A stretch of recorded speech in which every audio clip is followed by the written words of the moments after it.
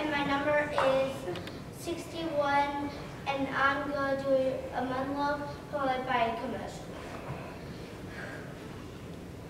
What do you dream about? I dream about dragons all the time.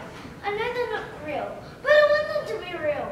Sure, most boys dream about superheroes, but I, I love dragons and... I, uh, Dragons never dreams. What about we can make our dreams real? I can fly away from me and never come back. The one where's my home. Nightmares will be real too? Maybe. Still worth it then. My nightmares are pretty bad. I'll keep the good dreams in my life. No scary dreams in my life. No, thank you.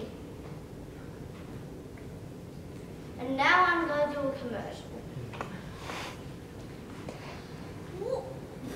I love Oreo cookies. So when I went downstairs, I put a big glass of milk to dip my cookies in. But when I looked at the cookie jar, it was empty.